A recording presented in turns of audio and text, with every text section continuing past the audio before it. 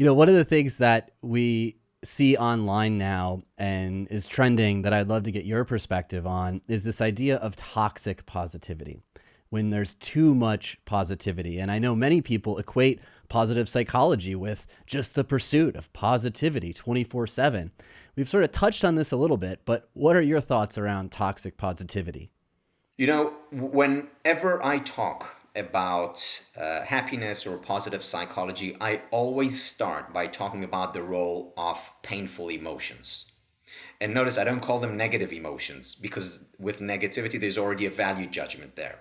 I always begin by talking about the role of sadness or anger or anxiety or envy or hatred and how they're part and parcel of every life, including by default of a happy life.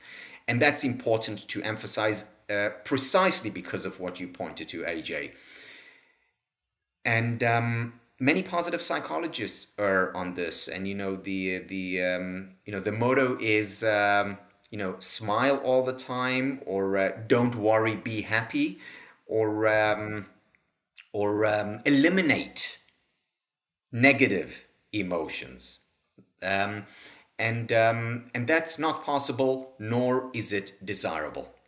You know i often have a um, a thought experiment that i offer and and and and i also add that this may not just be a thought experiment that may become a reality 10 years from now. Imagine you had a machine that you could go into and that machine would automatically eliminate any painful emotions. You could go into it your kids could go into it um, so, you know, you're feeling down or your child comes home from school feeling down, just go into that machine and you'll feel all better again. You know, a little bit like uh, Woody Allen's uh, Orgasmatron. Um, so, would you want that machine? And um, and my answer would be that it, you know, would be nice to have once in a while. Um, but if we had it uh, accessible all the time, if we could live according to that ideal and be positive and happy according to that definition of happiness all the time, um, that wouldn't be a good thing.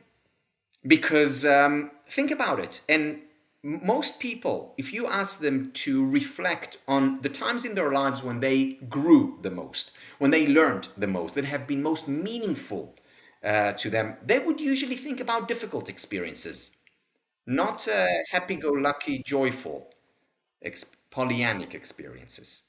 I to be happy all the time or to have this machine sounds like a Black Mirror or Twilight Zone episode, and we all know how those go. Yeah, they tend not to end well. Now, I'm curious: are there any non-negotiables for you when it comes to happiness in your life? Just do not do this if you are working towards happiness. I know many people have thought about what to do, but are there things that we're doing consciously or subconsciously that are robbing us of that happiness that you put on your non negotiable list? Yeah, my non negotiable, personally, that is, my non negotiable is, um, um, you know, important uh, dates, for example, in terms of uh, relationships. Um, it's um, it mostly has to do when work detracts from relationships. And relationships i mean whether it's with my my wife whether it's with my children extended family and uh, uh, intimate friends. Um, that comes first. And everything else has to revolve around that. Now with that you know i work hard i'm ambitious uh, you know i used to uh, not so long ago travel a lot. Um, and yet top priority in words and in deeds relationships. And um, and things have to revolve around that